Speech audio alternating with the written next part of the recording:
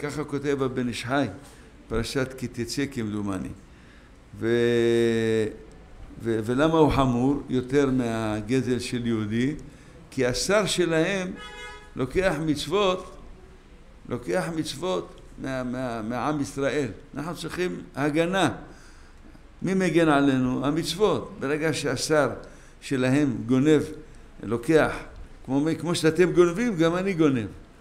אז אתה לא יודע מה שאתה גורם שמה, בעולמות העליונים. לכן באמת צריך להיזהר בדבר הזה. כשאדם בוחר אתרוג, עוד מעט חג הסוכות, בא עלינו לטובה ולברכה, אדם בוחר אתרוג, או לולב, או הדס, צריך בצורה עדינה. תראה המוכר, איך הוא תופס את האתרוג, מניח אותו לאט לאט, לא דופק אותו על השולחן.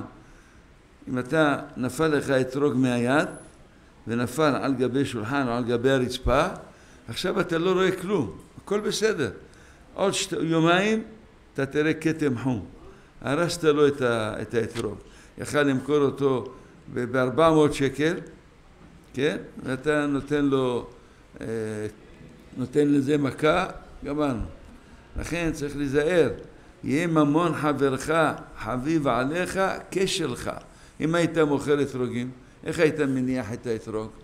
בתחילו רחימו. לכן צריך מאוד להיזהר. אותו דבר, הלולב, אלה שמקפידים, אחינו האשכנזים שמקפידים שלא יהיה פתוח למעלה, כן? צריכים להיזהר. יש כאלה שפותחים אותו, מוציאים את הקורה ופותחים כדי לראות אם זה פתוח ולפעמים בלי לשים לב פותחים אותו, פוסלים אותו. לשיטתם זה פסול. לשיטתנו זה לא פסול, אבל הוא רוצה למכור את זה לאשכנזי במחיר טוב, הוא לא יכול, הוא הביא אה, סגורים ואלה עם המשמוש ידיים גורמים לו הפסד. חשבת על זה פעם שאתה צריך לשלם לו עבור זה שפסלת לו את הלולב או, או פסלת לו את האתרוג? על זה אנחנו מעוררים. לפעמים אדם נכנס, הוא צריך לטלפן, כן, צריך לטלפן. נכנס לאיזה משרד, מבקש מהפקיד, תעשה טובה, תן לי לעשות טלפון אחד. אסור לך לעשות דבר כזה. הוא בעל הבית, הוא לא בעל הבית. בסך הכל פועל. הוא בא, נותן לך לטלפן כמה שאתה רוצה, אין דבר כזה. וחוץ מזה, ברגע הזה שאתה תופס לו את הטלפון כדי אה, לטלפן למי שאתה צריך לטלפן, ברגע הזה מישהו, יש לך שיחה ממתינה, הוא צריך עכשיו את הפקיד, והפקיד הזה חייב לענות לו, והוא לא עונה לו, כי ההוא עסוק עם, הט... עם, הט... עם הטלפון. האמת לא כל כך מצוי שיהיה דבר כזה, כי היום כל אחד יש לו פלאפון, אז זה לא בעיה. אבל בכל אופן, אם אתה מדבר איתו על העניינים שלך ובינתיים יש ממתינה והוא לא עונה לטלפון, אז הוא מפסיד את ההוא. יכול להיות שההוא, בגלל שהוא לא ענו לו, יכול להפסיד. לכן צריך לשים לב. יש אנשים שיש להם למשל בניין של קומות, שיש שם איזה ברז שרוחצים בו את המכוניות שלהם. אז יש כאלה שיש להם מכוניות בבניין הזה, ויש כאלה שאין להם מכונית. עכשיו, המים שמשתמשים, שמשתמשים לרחוץ את, ה, את הרכב, זה על חשבון, זה יוצא גם על חשבון אלה שאין להם רכב. אז צריכים לשים לב, או לקבל אה, מחילה וסליחה וכפרה מאותו אחד שאין לו רכב, יגיד לך אין דבר, לא נורא, תשתמש, אני משתתף איתכם. או שיפצו אותו. מחיר סביר, יעשו חשבון פחות או יותר, וייתנו לו, יפצו אותו, יגידו לו, לא תשמע, אתה לא שוטף, אין לך מכונית. אנחנו שוטפים, ויש כאלה שוטפים ולא חסים על הממון, שוטפים ככה כל בורג, יש לו איזה אה, רכב חדש, והתלכלך לו, שוטף הרבה, עם הרבה מים, אז זה צריך לשים לב. יש אדם פועל, עובד באיזה משרד, והוא מתרשל, הוא עובד ככה בעצלתיים. אז אומרים לו, למה אתה מבזבז את הזמן שלך? למה אתה לא עובד בחשק? אומר לו, לא, הוא לא משלם טוב. הוא לא משלם טוב, אז גם אני אתן לו עבודה לא טובה. זה גזל גמור, זה לא טענה בכלל. הוא לא משלם טוב, אתה יכול לעזוב. זה התנאי שלו, אני משלם לך כך וכך. נכון שאותו דבר, אותו סוג של פועל במפעל אחר משלמים לו כפול, תלך לשם, יקבלו אותך שם.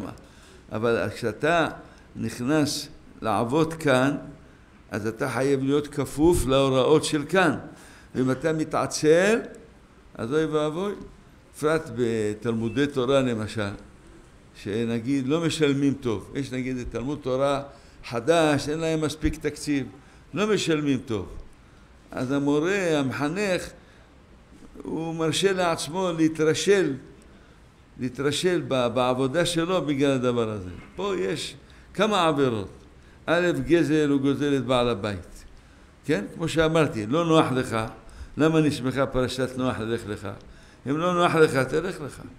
אז ת, ת, תעזוב את העבודה, תעזוב את העבודה, ו, וזהו. ויש לך פה עוד בעיה. אתה מלמד ילדים, תינוקות של בית רבן, שהעולם עומד על ההבל פה שלהם. אתה ממעט במלאכת שמיים. לא כל מי שאין לו עבודה הולך להיות מלמד תינוקות, אוי ואבוי. אלא אחד שיודע איך להתנהג עם ילדים, אחד שיש לו, למד את, ה, את הדרך, החוכמה, איך, איך ללמד, והוא יודע ללמד יסודי, לא שאם יש איזה מילה שהוא לא מבין, הוא מעביר אותה. או שיש ילד אחד עקשן שאומר, כבוד הרב, מה זה, מה המילה הזאת, מה הפירוש של המילה?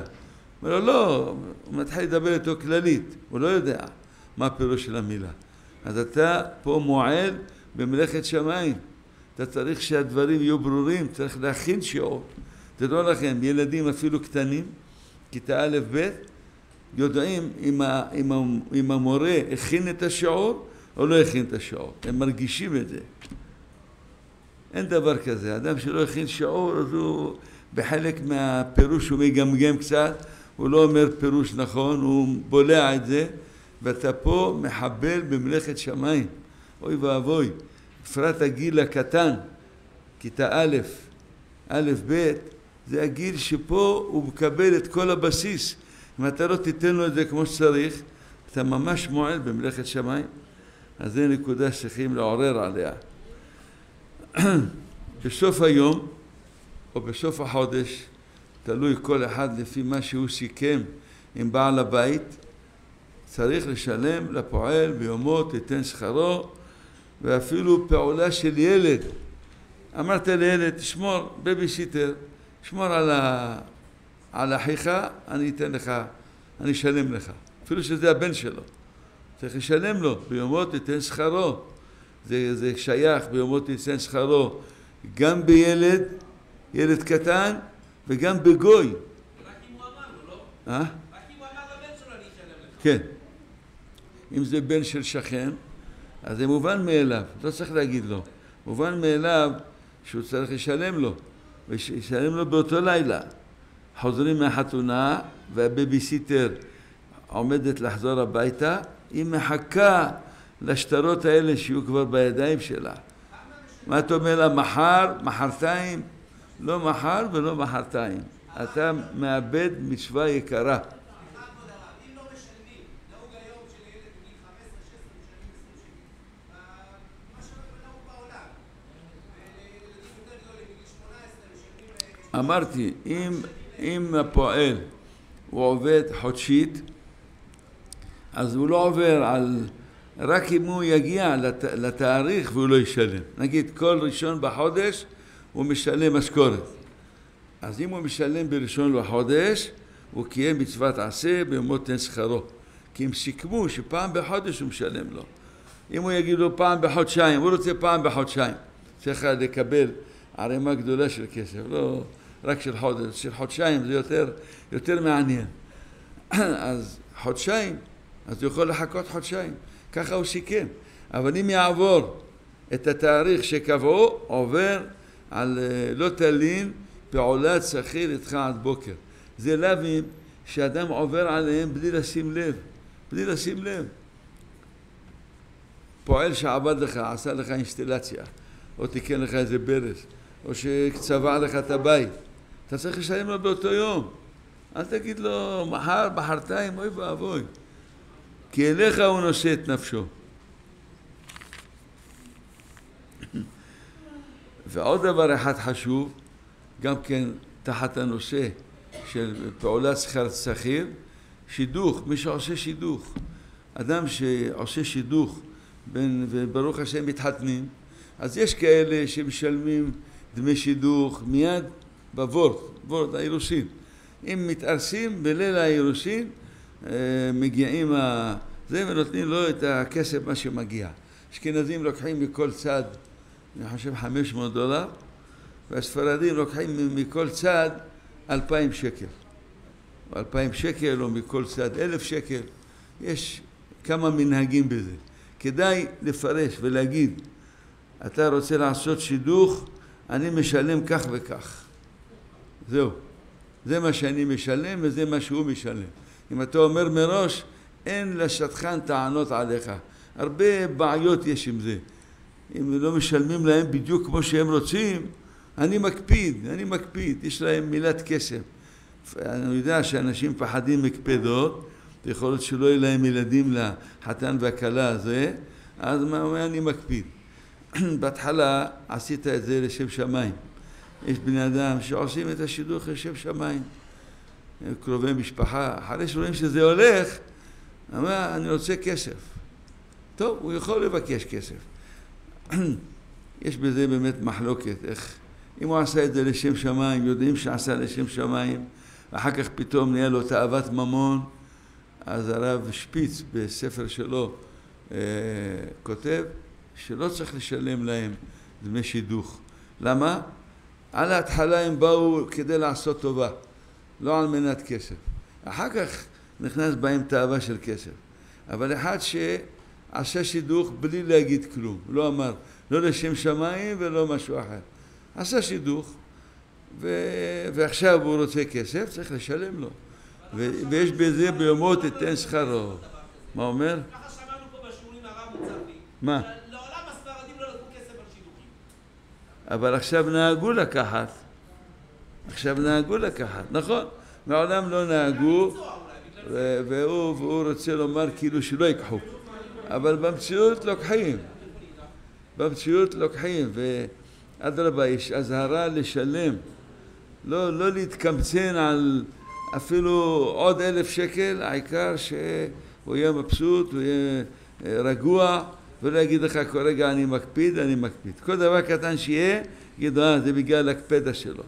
וזה באמת, הרבה פעמים הלכו לרב קנייבסקי או לשטייפלר, הוא אמר, רובץ עליך קפדה, שילמת דמי שידוך או לא? לא, לא שילמנו, מהר תשלמו. שילמו, התעברה, הביאה ילדים, הכל. יש, זה לא, לא דברים... אה,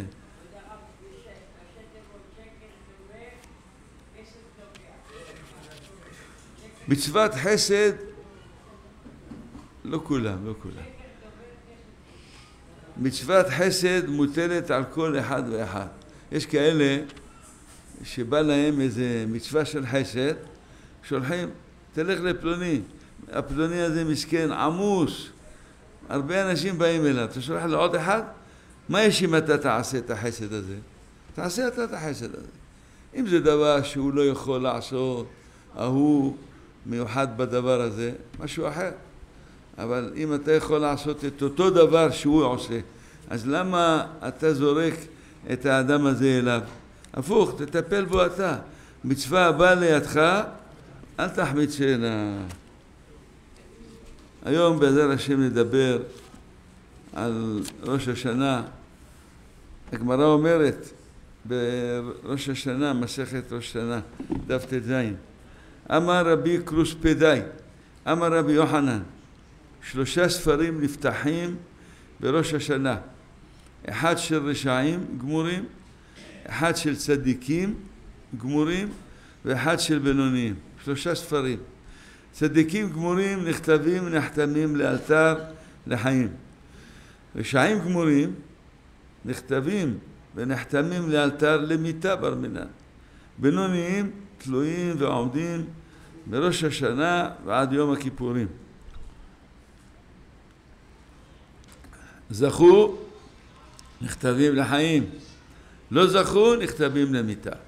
השואל המרשה, מה ששואלים העולם, אתה אומר שמי ש... שרשע מת, מיד מת, נחתמים ל... ל... למיתה. ומי שצדיק נשאר חי. ראינו צדיקים שנשארו חיים, ורשעים, סליחה, רשעים שנשארו חיים, צדיקים ש... שמתו. אז מה, זה ככה העולם שואלים.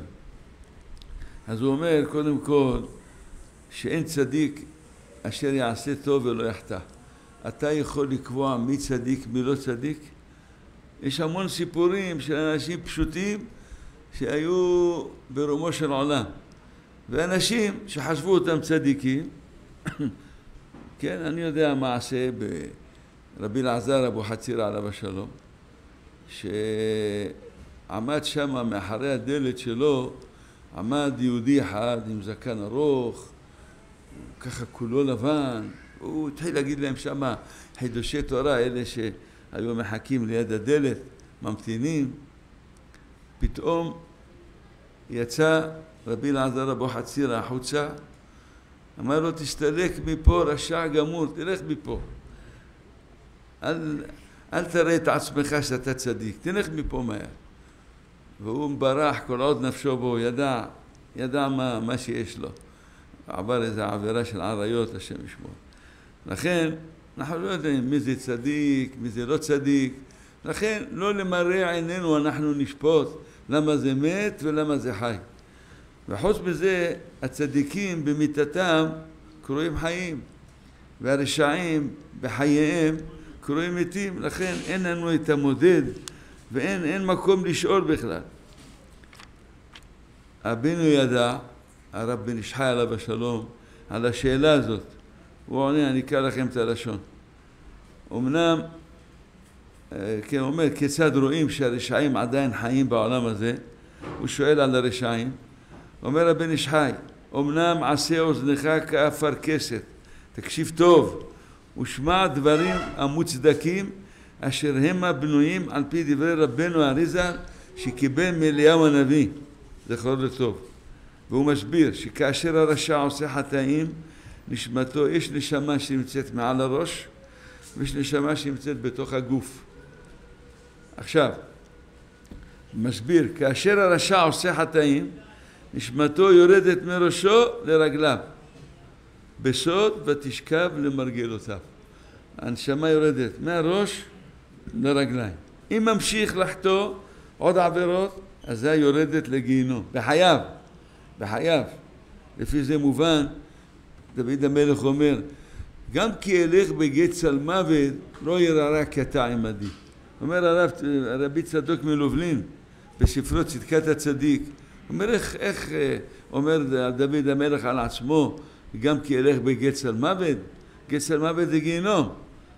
מה זה גם כי אלך? עכשיו, הוא מדבר על עכשיו. יכול להיות שבן אדם פה בעולם הזה ויש לו גיהינום, הוא מרגיש את גיהינום? אומר כן. אדם שעושה עבירות, אז הוא מרגיש שריפה, מרגיש שהלב שלו שרוף. הוא אומר, אתה חושב, מה זה השריפה הזאת? זה עכשיו שורפים אותו בחיי חיותו. אומר, אז יורדת לגיהינום. ואם ממשיך לחטוא, אזי עוד חלקים מהצלם שלא יורדים למטה, עד שהוא נחרט לגמרי מארץ החיים. זה רשע. אבל הצדיקים בכוח מעשיהם הטובים, נשמתם התחתונה שוכנת בגופם, לא, לא ברגליים, ונשמתם העליונה עומדת מעל ראשם, וכל הזמן שואף חיים לשתי הנשמות. וזה, וזה סוד משה משה. כן, משה משה, שמואל שמואל, יעקב יעקב, אברהם אברהם, למה פעמיים? רש"י אומר לשון חיבה, זה הפשט. אבל הסוד שבדברים, בגלל שיש לו שתי נשמות. נשמה אחת מקיפה את הראש שלו, ויש נשמה אחת שנכנסת בפנים. מה שמקיפה את הראש, בגלל שהיא כל כך גבוהה, לא יכולה להיכנס בתוך הראש. זה מה שמסביר רב נחמן ברסלב, עליו השלום, פירוש נפלא. אומר לעתיד לבוא צדיקים יושבים ועטרותיהם בראשיהם ונהנים מזיו השכינה. אומר, מה זה עטרותיהם בראשיהם? עטרותיהם זה אור המקיף, הוא לא יכול להיכנס פנימה. אבל כשהם מגיעים לעולם העליון, אז מה שהיה עטרותיהם, מה שהיה אור המקיף, זה בראשיהם. זה נכנס להם בראש. הם, הם מתחילים להבין בעולם הבא מה שלא הבינו בעולם הזה. מה שבעולם הזה היה עטרותיהם, שזה אור מקיף שלא יכול להיכנס, אז בעולם, בעולם הבא זה בראשיהם. זה, זה מה שתמיד אדם נחשף לדעת, שבעולם הבא מלמדים אותו מה שלא למד בעולם הזה, אבל העיקר שילמד. אם אדם לומד מסכת סוכה, אז ייתנו, הוא ישמע שיעור מהקדוש ברוך הוא מסכת סוכה. אם הוא לומד מסכת מכות, ישמע. צריך אדם לעבור על כל הש"ס.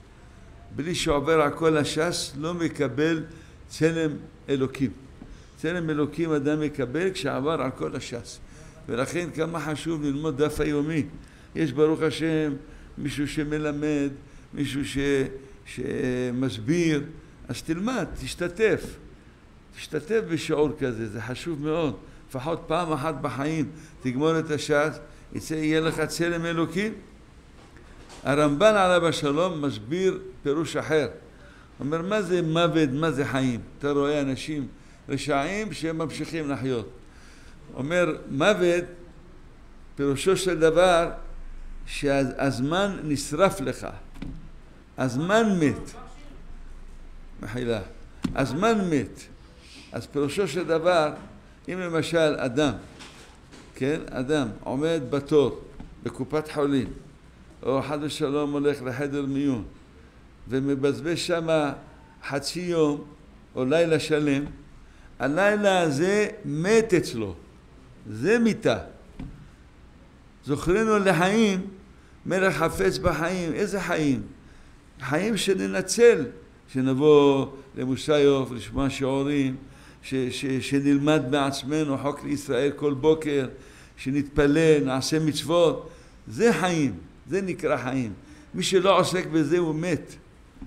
הוא הולך לשחק שש בש, הוא הולך למסעדות, הוא הולך לבקר את החבר שלו ורואים טלוויזיה ועושים כל מיני שטויות, זה מת, הזמן הזה מת לו. לא חבל עליך, אתה בגיל שבעים ועד היום, עד היום לא למדת, לא הלכת לשום מקום. זה הרגת את הזמן שלך. אז אם כן, חיים שיש בהם תוכן רוחני נקראים חיים. ואילו חיי ריקנות נקראים מת. אז מה עכשיו קשה לך? אתה רואה רשעים ש, שעבר עליהם ראש השנה והם עדיין הולכים בדרך הקלוקלת שלהם. אז הם מתים, זה נקרא מתים.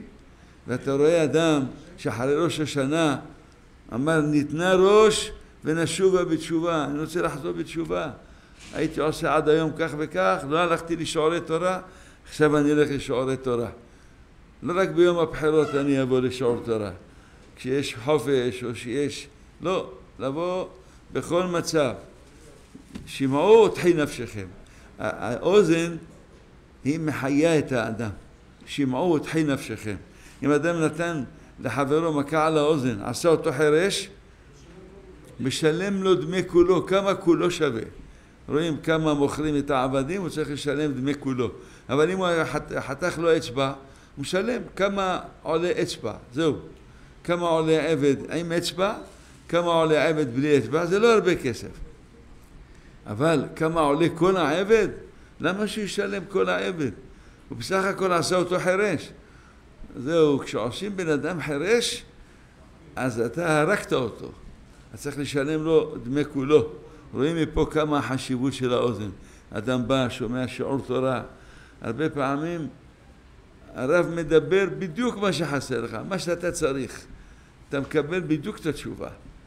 כמו שיהודי אחד אמר לי, אני לומד פלא יועץ, קבוע, אבל מה, מה אני עושה? אני פותח, איפה שיוצא לי, איפה שיוצא לי זה בדיוק מה שאני צריך אותו יום. אז הוא הלך לרב יעקב סופר שליטה, וכאילו הוא בא לספר לו דבר פלא, אומר לו, כבוד הרב, אני לומד פלא יועץ. וכל פעם שאני פותח, זה בדיוק מה שאני צריך. אמר לו, מה, לא ידעת? זאת אומרת, זה דבר פשוט. מה, לא ידעת שזה ככה? פלא יועץ. מי שלומד פלא יועץ, הוא מתקן את עצמו בהרבה דברים. אמרתי לכם, מה ההבדל בין מסילת ישרים, למשל, לפלא יועץ? מסילת ישרים זה עבודה, עבודה ש... שאתה משנה את עצמך. תורה מביאה לידי אה, זריזות, זריזות מביאה לידי זהירות, זהירות מביאה לידי נקיות, נקיות לטהרה. אתה לאט לאט עולה במדרגה, אבל זה לא לימוד של חודש, חודשיים, זה כל השנה כולה. בפלא יועץ אתה לומד כל נושא זה בפני עצמו. פה מדבר איתך על אהבת השם, פה מדבר איתך על אה, אמן, אמן יש מרבה, פה מדבר איתך, אז אתה, זה טוב ללמוד עכשיו, למה? הקדוש ברוך הוא יזמן לך שאתה תלמד בפלא יועץ מה שאתה לקוי בדבר שחסר לך, אז אתה צריך את זה. אז זה חשוב מאוד ללמוד פלא יועץ. עצם העובדה, תדעו, עצם העובדה שבן אדם לוקח ספר מוסר ולומד, אז הוא מראה, ריבונו של עולם, אני אכפת לי מאלול. אני אכפת לי. אני לא אחד שלא אכפת לי ויעבור אלול איך שיעבור. לא, אכפת לי. עובדה שעד עכשיו לא תפסתי ספר מוסר. ועכשיו אני התעוררתי והחלטתי לשבת ללמוד כל יום עשר דקות מוסר. לא נכביד עליכם, עשר דקות. מה יש בזה ללמד עשר דקות? בטלפון הוא, הוא, הוא לא מפטפט עשר דקות, סתם שטויות ואבנים, בכלל אין בזה שום תועלת. אז הוא יודע לבזבז את הזמן, זה מתקן לו את הזמן. ברגע שאדם לוקח מוסר, אומר ריבונו של עולם, אני רוצה לחזור בתשובה. אני לא יודע איך.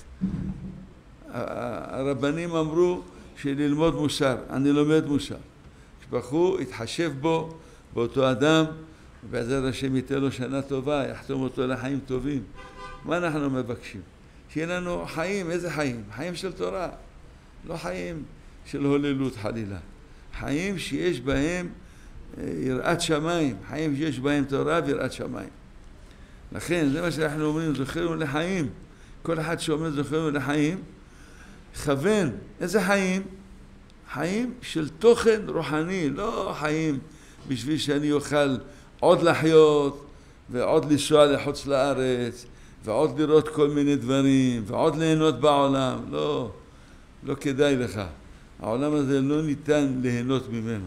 מי שנהנה בעולם הזה, לוקח חלקו לעולם הבא. היו תלמידים של רבי שמעון בר יוחאי.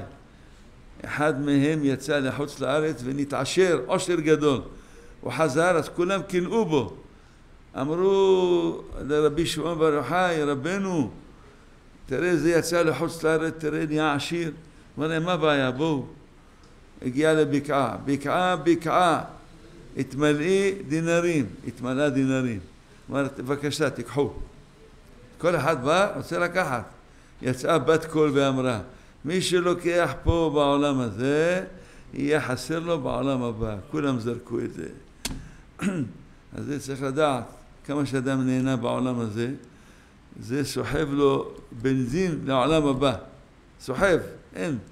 והפוך, כל איסורים קטנים שיש בעולם הזה, זה כנגד הרבה של העולם הבא.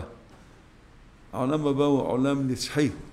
חס ושלום אדם צריך להיענש על איזה עבירה בעולם הבא, זה לוקח הרבה זמן. איך אמר רבי יהודה פתיה? אדם שעושה תענית לכפר עוונותיו, זה מונע ממנו עשרות שנים של כף הקלע. עשרות שנים של כף הקלע. תענית אחת בעולם הזה. תראו כמה העולם הזה חשוב. לא סתם הגאון מווילנה לפני שנפטר מן העולם היה בוכה, בוכה. הוא אמר, אתה בוכה? למה אתה בוכה? אמר, אני בוכה שאני עוזב עולם שבכמה פרוטות אפשר לקנות ציצית ובציצית הזאת אני מקיים מצוות. היה יהודי אחד, צדיק אחד גדול, נפטר בבית ישראל, רבי שלמה לוי, הבן של חכם ששון לוי, עליהם השלום. ממש היה צדיק יסוד עולם. היה מחובר למכשירים, כולו צינורות. וכשהוציאו לו את הצינור של ההנשמה, אז הוא רצה לדבר, אבל לא מבינים אותו, אי אפשר, לא, לא שומעים אותו. ואחיו ישב לידו עד שבסוף הוא הבין שהוא רוצה ציצית, אני רוצה ציצית, הוא כל הזמן היה מורדם. מה, אני בלי ציצית? אני רוצה ציצית. אמרו לו, יש פה, יש פה צינורות, יש פה... אמר לו, לא, אז הוא כתב להם, היה כותב, אני לא חשו, אני לא פטור ממצוות. ככה אמר להם, אני לא חירש ולא שותה ולא קטן, אני לא פטור מהמצוות. תיתנו לי משהו להתלבש. תראו מה זה, כשבן אדם ואיזה איסורים, 12 שנה של איסורי תופת. ממש כיפר על כל, על כל השכונה, על כל עם ישראל. זה, כך צריכים עכשיו אה, לדאוג, לעשות הרבה מצוות כדי להגן על עצמנו. עד עכשיו היה הצדיק הזה, למה נשמחה פרשת פרה למיתתם של צדיקים? להגיד לך, כמו שפרה מכפרת, ככה מיתתם של צדיקים מכפרת. ממש, הוא היה צדיק יסוד עולם. לכן, מה, מהרצון שלו לקיים מצוות, אנחנו נלמד כמה זה חשוב. העולם הזה זה עולם, הוא עולם נפלא, שאפשר במעט להשיג הרבה. מבחינה זאת זה עולם נפלא. לאלה שיודעים לנצל אותו, אבל מי שלא יודע לנצל אותו, זה עולם של הבל. הוא יידרדר ויידרדר ויידרדר, רואים מה קורה עם האייפונים והפלאפונים הלא כשרים, מה שזה עושה, מה שזה מדרדר את האדם, לשאול תחתית, מביא אותו לכל מיני מקומות. היה איזה ערבי אחד עובד אצל יהודי, אמר לו, אני יכול לפרוץ לך את החנות. יש, יש בתוך האייפון שיטה איך לפרוס. הוא אומר, יכול לפרוס לך את החנות, תראה. זה מה שהם מלמדים, מלמדים לגנוב, מלמדים עריות, מלמדים, זה מי, ש, מי שקשור לאייפון, אוי ואבוי.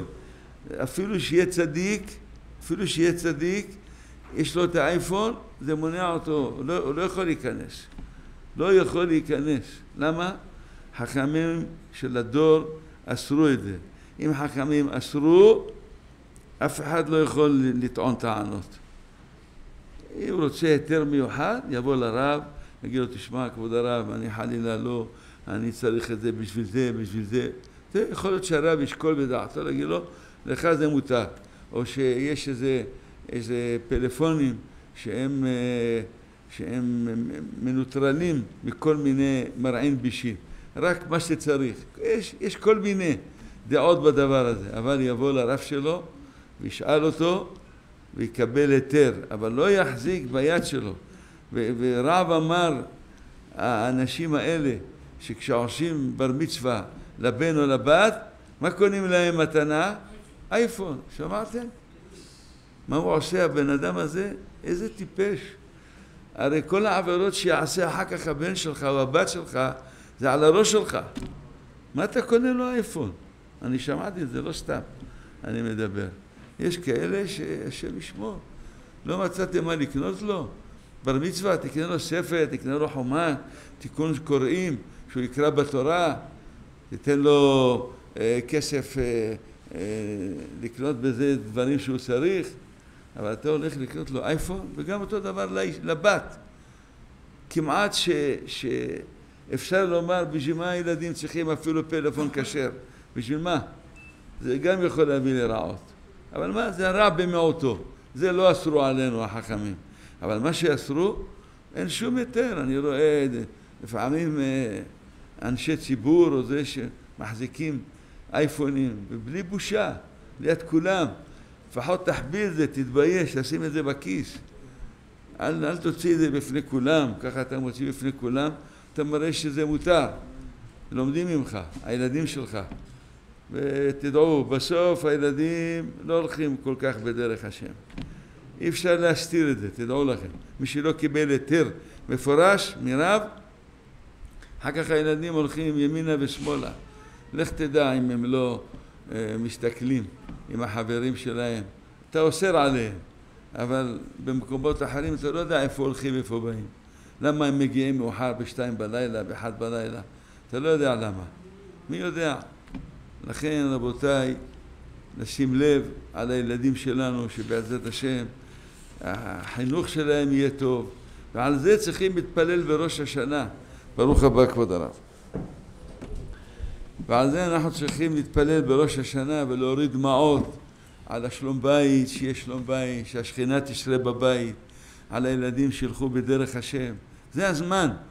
התפילה בראש השנה היא לכל השנה. לכל השנה. לוקחים יראת שמיים לכל השנה. זה ימי יראה. אדם בראש השנה יש לו פחד. אומר הפלא יועץ, הפחד הזה זה ממלא את המצבר של היראת שמיים לכל השנה. וסוכות זה שמחה, אז זה ממלא את המצבר של השמחה לכל השנה. ויום הכיפורים זה אהבה. כשבחור אוהב אותנו, נתן לנו יום אחד בשנה, יום אדיר בשנה, לכפר בו עוונותינו. כל חג יש לו את המשמעות שלו, ולכן הוא, הוא כמו ראש השנה לכל השנה, בעניין הזה שהוא, שהוא מיוחד. לכן יש לנו בעזרת השם, אני מכין אתכם, עוד מעט ראש השנה, ובעזרת השם אנחנו צריכים לבקש. לא כשמגיעים, זהו, אדם לא יודע מה לבקש, תבקש, תבקש מהקדוש ברוך הוא. האמת שכל מה שאתה רוצה לבקש, כתוב. שערי הוראה, שערי ברכה, שערי דיצה, שערי גילה, שערי הוד והדר, שערי ועתו, שערי זמרה, הכל כתוב. אז לא צריך לבקש בצורה פרטית, כי הכל כתוב. רק תענה אמן ותכוון באמן שזה כן יהיה רצון. לא תענה אמן ותסתכל על החלונות או על האנשים, אלא תכוון, תתפוס את הסידור מולך וכל אמן תגיד אותו בכוונה. יהיה לך בזה מעלה גדולה ויהיה לך בזה שכר רב. נאמר דבר קטן, פרשת השבוע, והיה כי תבוא אל הארץ אשר השם אלוקיך נותן לך נחלה, והיא רשתה וישבת בה. אומר רבי איש חי, לעתיד לבוא, תתרחב ירושלים ותגדל ארץ ישראל.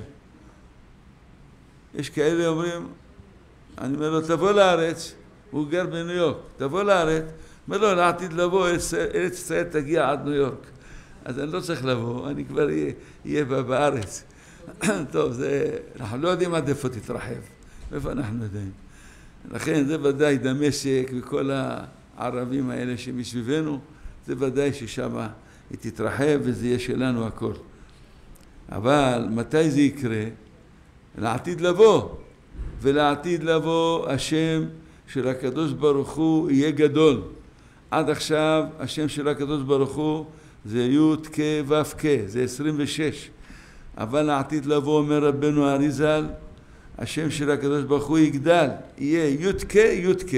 כמה זה יוצא? י"ק י"ק? שלושים. כמה יוצא כי? גם שלושים. אומר, והיה כמה זה? עשרים ושש. אומר, והיה כי, כשוהיה יהיה כי, כשהשם של הקדוש ברוך הוא, שעכשיו הוא י"ק ו"ק, יהפך להיות לכי, לי"ק י"ק, אז תבואי לארץ. אז הארץ תתרחב ותגיע עד איפה שתגיע, בעזרת השם יהיה לנו אה, ארץ רחבה מאוד, ולא צריכים אה, כל כך לדאוג, בעזרת השם. עוד אומר, מי שגר בארץ ישראל דומה כמי שיש לו אלוה, ומי שגר בחוץ לארץ כמי שאין לו. ככה הגמרא אומרת, ככה חז"ל אמרו. אז זה מרומז בפסוק. והיה, זה שם הוויה ברוך הוא, כן? מתי יהיה שם השם נקרא עליך, והיה, כי תבוא אל הארץ, תבוא לארץ ישראל, אז מי שדר פה דומה כמי שיש לו אה, אלוה. עוד כתוב, וענית ואמרת, ארמי עובד אבי. אז רש"י אומר, וענית ואמרת בקול רם. צריך להבין, מה כוונת רש"י? למה אמר בקול רם? מה העניין של קול רם? אלא אומר הרב חנוכת התורה, שבאמת למה אסור לאדם להגביה קולו בתפילה?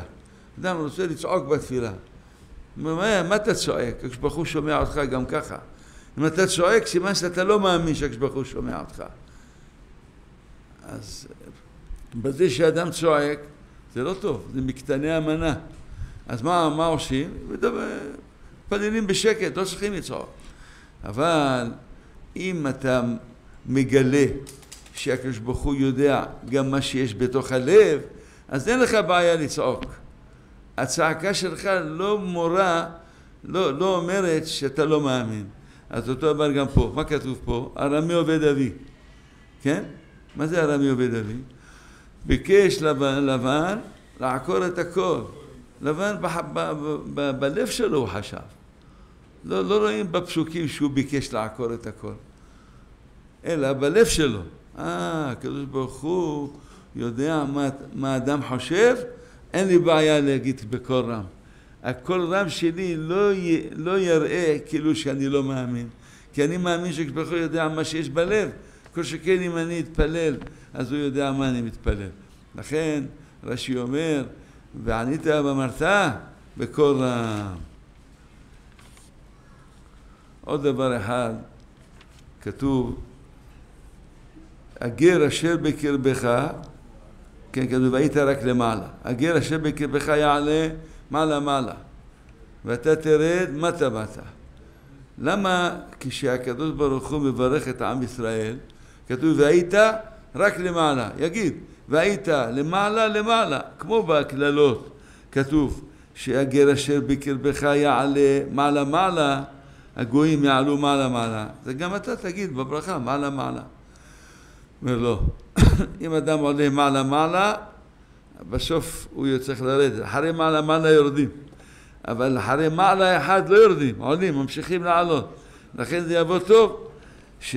והיית רק למעלה. כן? לא כתוב למעלה למעלה, כי אני רוצה שתעלה עוד. אבל הגר אשר בקרבך יעלה מעלה מעלה, בסוף ירד מטה מטה. ברוך אדוני לעולם, אמן ואמן. כולי שנים רבות, נעמוד לטובות.